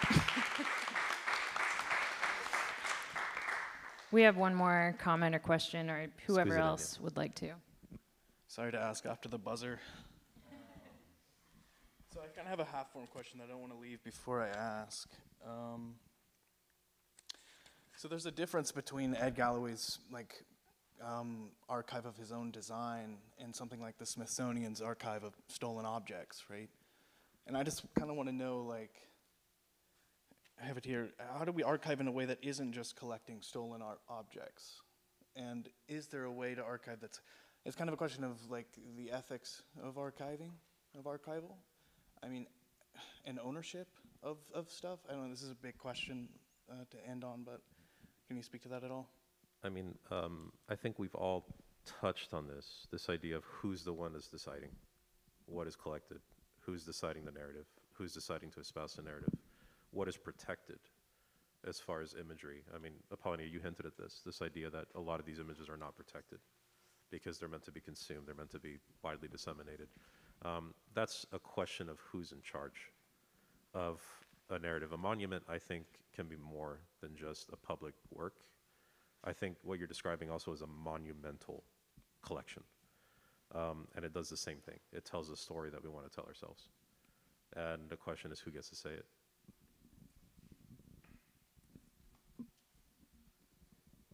Kind of touching on that too. Um, I'm going to talk maybe about art or like a project, kind of in the context of an archive, you know, I think would fit here. But s- say that you were trying to create an archive of like a, a particular tribe or like, you know, a tribe of a region or, or something.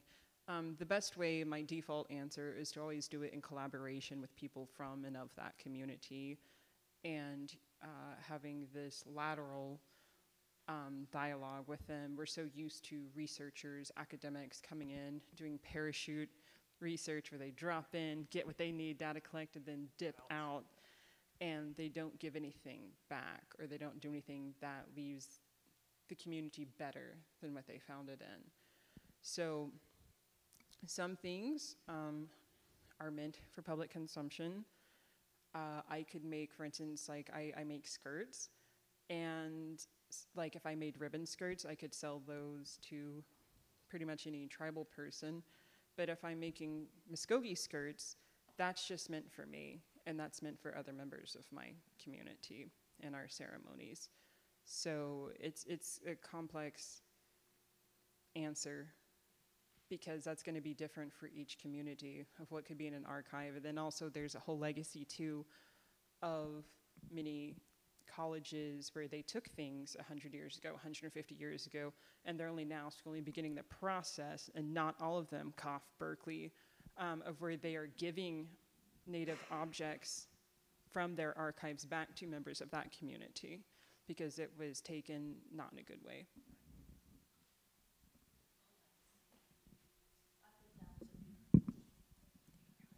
I'd like to speak to that just briefly because uh, on Friday I was at Gilcrease and the speaker was the curator there of an of the part of the indigenous things and we are reopening Gilcrease with new exhibits and so they have taken and collaborated with nine tribes that we believe Mr. Gilcrease got these objects from in different ways and they have just had in-depth discussions and meetings and evaluations. Some things have been returned. Tribes have either all agreed for them to be displayed and have had input into how they will be displayed and what the stories will be told about them. It's been a process that's been in for um, the works for about three years at least. So it's beginning to happen, and I just saw that there are new guidelines for the National Museum Association regarding Native and, and Indigenous works. So museums are beginning to kind of come to terms with this and figure out ways to um, ma- make things better or right as best they can. So it is going on, but it's definitely a work in progress. progress. yes. I'm going to just, um, if, just as a practical answer to your question, I think there actually is one. Are you familiar with OCAP? Okay, th- this is what this is what you're to go Google later. um, OCAP stands for ownership, control, access, and possession, and those are the four principles governing any kind of collection, whether it's data, documents that actually form in traditional archives, or um, cultural artifacts. Is those are the those are the four principles. OCAP. You can look it up, and it I'm you'll have a better, um, much better explanation than I could give you right now. But anyways, that's that's where you want to look.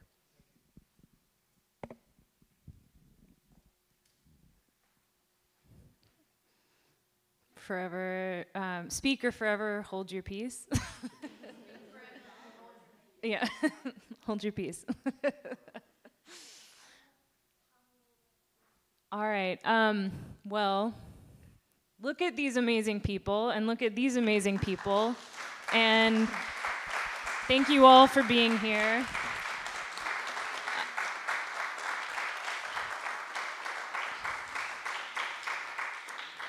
Um, we have refreshments outside, so I hope if you have a little time, please stay. We can have some um, friendly conversations out there, and um, just really, really appreciate all of you for coming and supporting this project. And um, thank you.